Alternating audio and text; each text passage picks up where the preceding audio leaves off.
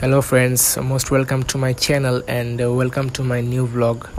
In this vlog, I am going to share my one day experience in uh, Chittagong with you guys. So stay with me and enjoy the whole video. So first of all আমার বাস আমাকে নামিয়ে দেয় চট্টগ্রামের দামপাড়া এবং সেখান থেকে আমি autorickshaw এবং বাসে করে বিভিন্নভাবে মিলিয়ে আমি পতেঙ্গার উদ্দেশ্যে রওনা হই এবং কিছুক্ষণের মধ্যে আমি পৌঁছে যাই পতেঙ্গায় সো এভরিওয়ান আমি এখন চলে এলাম চট্টগ্রামের পতেঙ্গায় এবং এলাকাটা আসলে বলতে গেলে খুবই সুন্দর এবং জাস্ট রাস্তাটা দেখেন মানে বলার মতো না কিছু, কি সুন্দর ভিউ আসলে। এলাকাটা দেখতে দেখতে আমি হেঁটে চলছি এই রাস্তা দিয়ে এবং আশেপাশের যে মানে সিনারিগুলো আছে, এগুলো আমি এনজয় করছি এবং হেঁটে হেঁটে বিষয়গুলো এক্সপ্লোর করার চেষ্টা করতেছি। সো হাঁটতে হাঁটতে আমি চলে এলাম সমুদ্রের পাড়ে এবং সমুদ্রের সামনে এসে আমি কিছুক্ষণ দাঁড়িয়ে আশেপাশের যে ভিউগুলো আছে, এগুলো আমি এনজয় করি। সমুদ্রের সামনে আসলে আমার মানে ব্যক্তিগতভাবে আমি সমুদ্রের সামনে দাঁড়িয়ে সমুদ্রের দিকে তাকিয়ে থাকতে আমি খুবই পছন্দ করি কারণ জিনিসটা অত্যন্ত পিসফুল এবং দেখেন গাইজ এখানে যে জাহাজগুলো দেখা যাচ্ছে, এগুলো আসলেই খুবই স্যাটিসফাইং এবং তখন ওয়েদারটাও খুবই ফাইন ছিল এবং ওয়েদারটা আসলেই এনজয়েবল ছিল। আপনারা আকাশটা দেখলেই বুঝতে পারবেন। এবং আসলেই একটা এনজয়েবল ওয়েদার এখানে পিছনে অন্যান্য সময়ে মেলা টাইপের কিছু একটা বসে, অনেক দোকানপাট বসে। আমি তো গেছিলাম প্রায় অনেক সকালের দিকে অ্যাপ্রক্সিমেটলি আটটার দিকে আমি ওই দিকে গেছি। যার কারণে দোকানপাটগুলো সবই বন্ধ ছিল। আসলে এই ভিউটা খুবই সুন্দর এবং এনজয়েবল একটা জায়গা। আমি তৎক্ষণাৎ আকাশের দিকে তাকাই এবং দেখতে পেলাম একটা বিমান যাচ্ছে, তাই ভাবলাম এই ভিউটা আপনাদেরকে দেখানো যাক। দেখেন গাইস উপর দিয়ে বিমান যাচ্ছে এবং নিচে কতগুলা জাহাজ সজ্জিত অবস্থায় আছে এবং just look at the weather guys it's kind of marvellous I would say এবং খুবই সুন্দর একটা ওয়েদার আসলেই। তারপর সমুদ্র দেখা শেষে আমি হাঁটতে হাঁটতে চলে এলাম বঙ্গবন্ধু টানেলের কাছে। এটা আসলে আমাদের দেশের একটা অন্যতম স্থাপত্য, যেটা বর্তমান সরকার বহুদিন যাবৎ এটার কাজ করে আসছে এবং হয়তো কিছুদিনের মধ্যে এটা চালু করা হবে। এটা মানে পতেঙ্গা থেকে সোজা কক্সবাজার আমরা এই টানেলের মাধ্যমে যাতায়াত করতে পারব এবং আশপাশের যে কাজগুলা করা হয়েছে, এগুলা মানে just nothing to say about this খুবই নিখুঁত এবং সূক্ষ্ম কাজ করা হয়েছে এবং রাস্তাগুলা মানে অনেক সুন্দর এবং এখানে গিয়ে আমার কাছে মনে হয়েছে যে আমি একদম বিদেশে চলে আসছি, না আমার দেশে আছি। আমি আসলেই কনফিউজ ছিলাম।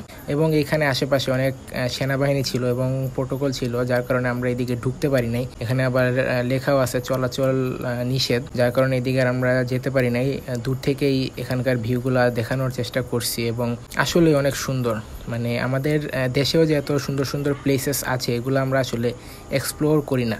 আমরা সাধারণত বাইরের দেশে গিয়ে সৌন্দর্য এক্সপ্লোর করতে চাই, কিন্তু আমাদের দেশে যে সৌন্দর্যগুলো আছে, এগুলো আমাদের সর্বপ্রথম এগুলি আমাদেরকে উপভোগ করা উচিত, কেননা এগুলো আমাদের জাতীয় সম্পদ। নিজের দেশকে চিনি এবং জানি এটাই আমাদের কর্তব্য হওয়া উচিত। তারপর বেরিয়ে পড়লাম লাঞ্চ করতে। আমার সাথে আছে রাজু, যে সম্পর্কে আমার বন্ধু, ছোট ভাই এবং মামাও বলা যায়। আমরা সবাই একসাথে লাঞ্চ করতে বেরিয়ে পড়লাম এবং আমরা বিভিন্ন কথাবার্তা বলতে বলতে যাচ্ছিলাম চিটাং শহরের দিকে। আমার সাথে ছিল আমার আরও কয়েকজন ফ্রেন্ডস তো বিভিন্ন কথাবার্তা বলতে বলতে সুখ দুঃখ শেয়ার করতে করতে আমরা এগিয়ে চলছি চট্টগ্রাম শহরের দিকে। তো দেখতে দেখতে চলে এলাম চিটাং শহরে। এরিয়াটার নাম স্পেসিফিক্যালি বলতে পারতেছি না বাট বদ্দারহাটের আশপাশেই হবে। আমরা লাঞ্চ করতে চলে এলাম বারকোড ফুড জাংশনে এবং এই রেস্টুরেন্টটা আসলেই খুবই ভাইরাল একটা রেস্টুরেন্ট এবং এখানে পাওয়া যায় চট্টগ্রামের ঐতিহ্যবাহী মেজবান এবং সেটা খেতে আমরা এখানে আসছি আসলে।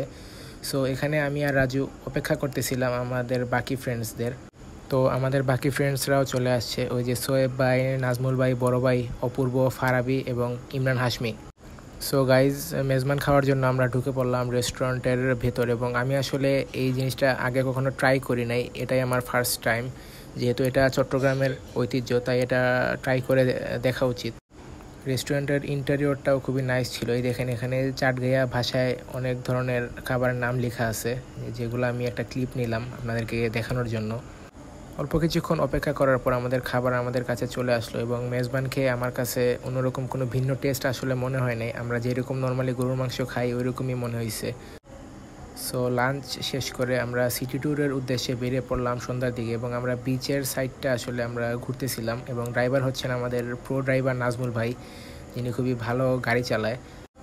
তো পরের দিনই ছিল আমাদের রাজু ভাইয়ের বার্থডে এবং আমরা তার বার্থডেটা সেলিব্রেট করার সিদ্ধান্ত নিলাম এবং আমরা সকলে মিলে অ্যারেঞ্জ করি এই সারপ্রাইজটা তার জন্য এবং সে খুবই সারপ্রাইজড ছিল আসলে। সো আমরা কেকটা কাটি সবাই মিলে এবং তাকে বলি কেকের মধ্যে একটা খুব দেওয়ার জন্য। It was just kind of fun guys খুবই মজা করছি আসলে এই টাইমটাতে so guys it's time to say goodbye to Chittagong এবং আমরা আমাদের ব্যাগটে গুছিয়ে হোটেল থেকে চেক আউট করে ফেলি। এবং আমরা কক্সবাজারে যাওয়ার জন্য রওনা হই। চিটাং শহরটা আসলে অনেক সুন্দর এবং আমরা যে টাইমটা চিটাং শহরে ছিলাম অলমোস্ট ওয়ান ডে আমরা খুবই এনজয় করি। And now it's time to leave this beautiful city now we are going towards Cox's Bazar the longest sea beach in the world so এটুকুই ছিল আমার চিটাং শহরে একদিনের অভিজ্ঞতা, আমি যা যা করলাম আপনাদের সাথে সবই শেয়ার করলাম এবং আশা করি আপনারা এই ভিডিও থেকে কিছুটা হলেও এক্সপিরিয়েন্স গ্যাদার করতে পারবেন।